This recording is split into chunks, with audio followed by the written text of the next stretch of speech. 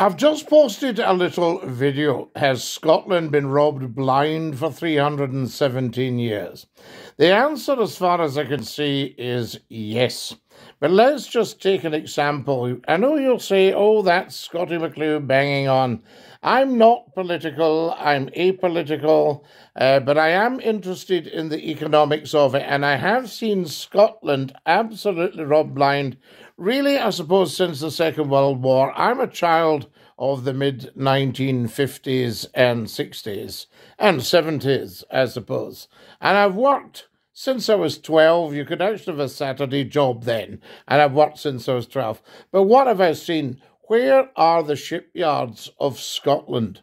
Where uh, Scotts, Lithgows, Alexander Stephen, Harland and Wolff?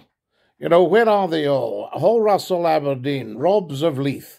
Where are all these? Where are all the uh, wooden boat builders? Fantastic old names as well. Where are the fishing fleets of Oban and Tarbert and Ardrishaig and Campbeltown?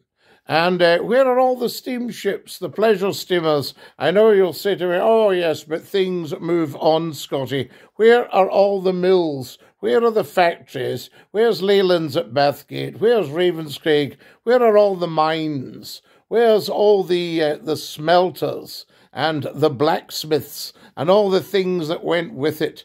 And this is what we've got to look at. Where are all the railway connections? You used to just walk a few yards and you could get a train to anywhere in the world from anywhere in Scotland. Does anyone remember the Murray's Diary? A few pence at the news agents. So, all that sort of thing. Look at our towns. Look at uh, Stirling, look at Greenock, look at Paisley, look at Port Glasgow, um, look at Hamilton, look at Wishaw, look at Coatbridge, uh, you know, look at Edinburgh, look at Glasgow, um, look at Perth, look at Dundee, look at Inverness.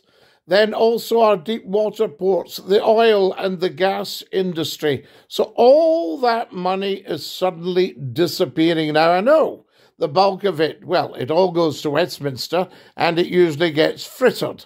But having said that, I think it's time for Scotland to rebuild her economy, to start trading with Europe, and to say to Westminster, look, if you won't let independence happen in Scotland, let Scotland keep its own income until it's fully rebuilt.